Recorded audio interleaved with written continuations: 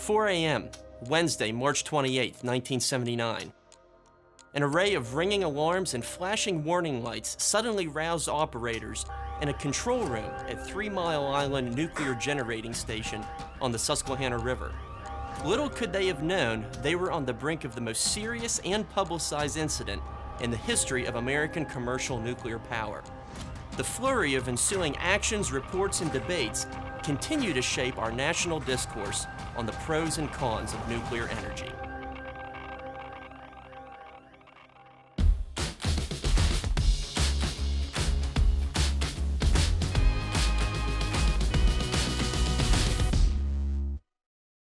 By the 1950s, nuclear power had transitioned from a complete government monopoly into a private enterprise.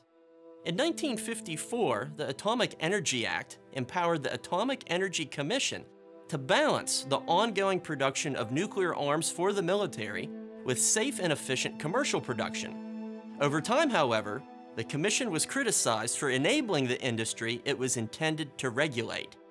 That dynamic led to the creation of the Nuclear Regulatory Commission in 1975. This independent government agency was to become the final arbiter of nuclear oversight in the United States. The emergence of the NRC coincided with the opening of two nuclear units at Three Mile Island Nuclear Generating Station in 1974 and 1978. Operated by Metropolitan Edison and located near Middletown, only miles away from the state capital, the plant was welcomed by most residents as a sign of progress and a means of revitalizing the local economy. After all, the financial and energy woes of the 1970s further highlighted the need for America to invest in nuclear power. Amidst these developments, the staff of the fledgling Nuclear Regulatory Commission was often overwhelmed by its responsibilities. One NRC director claimed, We had more work than we could handle. While experts within the organization believed that harmful nuclear incidents were the least likely of all possible disasters to occur, many also acknowledged that the pathways to potential nuclear accidents had yet to be thoroughly examined. This issue became quite apparent on March 28, 1979. In the pre-dawn hours at Three Mile Island, nerve-wracking uncertainty gripped plant staff as alarms for Unit 2 began to sound. One operator remembered that the control room console lit up like a Christmas tree, and an avalanche of data and warnings created an atmosphere of confusion. At one point, a radiation in the control room alert blared, compelling staff to wear emergency respirators. A general emergency was sounded. Technical breakdowns had stalled feed water pumps from transporting water to steam generators. Pressure within the system soon mounted. Employees responded by opening a relief valve. Yet that valve unknowingly remained open after it was meant to close, and operators were unaware of an ongoing loss of coolant. Then something truly strange happened. The water level in the pressurizer was rising, although the pressure itself was still falling. This was a scenario staff had not been trained for. Water level and pressure were supposed to rise or fall together. As such, the operators shut off the supply of emergency cooling water to the reactor. The lack of water circulation, coupled with the stuck open valve, meant the coolant level continued to fall as it boiled away. This eventually exposed the reactor core. All the while, very hot fuel rods of the partially exposed core reacted with steam. That process gave off immense heat, enough to melt the fuel. At the height of the incident, the core reached 4,300 degrees. When all was said and done, the reactor endured irreparable damage almost half of the core melted inside the reactor. Fortunately, the considerable safety margin in the reactor's design kept the core from melting through. Not until emergency water was injected into the system later in the day the coolant pumps finally restart. But concern did not end there. Trace amounts of radioactive gas were released into the environment as steam from the melted fuel escaped through the open pressure valve and that issue soon became a chief concern of the surrounding community. Early on the morning of the 28th, a radio traffic reporter picked up chatter about fire and emergency crews being mobilized on Three Mile Island. Word of the mounting situation was spreading around the Harrisburg area by 9 a.m. Pennsylvania Governor Richard Thornburgh remembered the moment with cold realization. The minute I heard that there had been an accident at a nuclear facility, he said, I knew we were in another dimension. Miscommunication and perhaps a lack of transparency on the part of Metropolitan Edison fueled a sense of fear and distrust.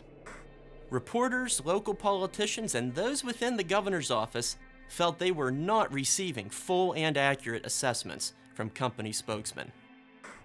When inspectors from the NRC arrived on site, they witnessed an eerie scene of employees scurrying about in radiation suits. The spectacle instilled the sensation that something dreadfully troubling had occurred. The unfolding disaster was perhaps as much psychological as it was technological. Pandemonium ensued in neighboring communities. Communication and information alike were muddled. Harrisburg's civil defense sirens were triggered despite the fact there was no immediate threat. Worries were heightened by popular culture of the time as well. Just two weeks before the incident, the suspense movie The China Syndrome had been released.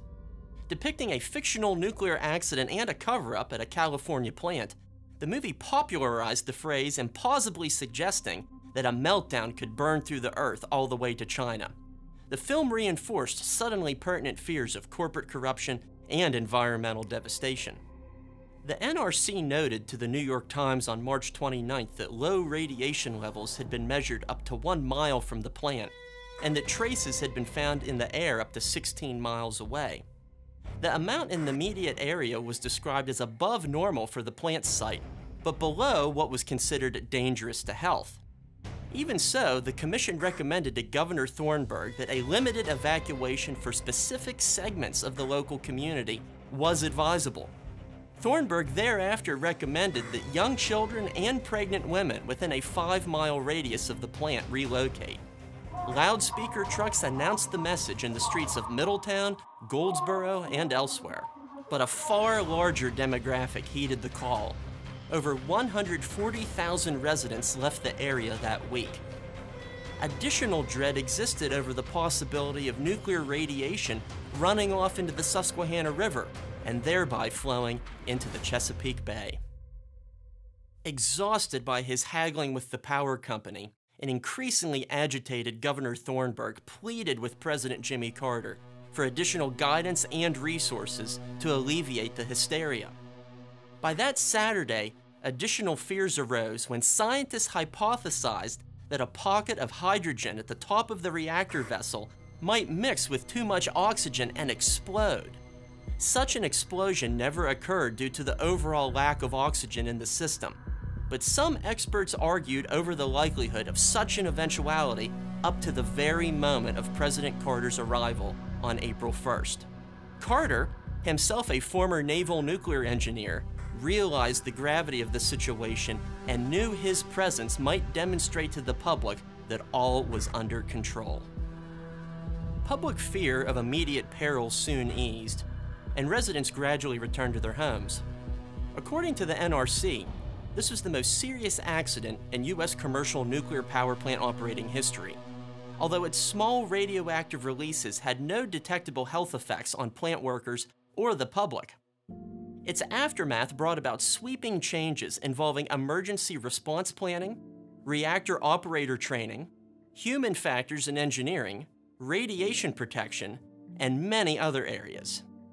It also caused the NRC to tighten and heighten its regulatory oversight.